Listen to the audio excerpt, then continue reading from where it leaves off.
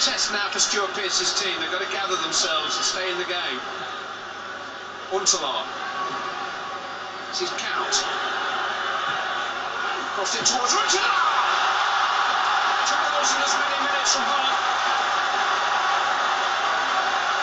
Really well worked. Dirk Kuyt's cross. Headed in by a day's Klaas Jan Huntelaar. He's in some distress. Chris Smalling's down too. Sad scenes these, which have uh, brought the celebrations.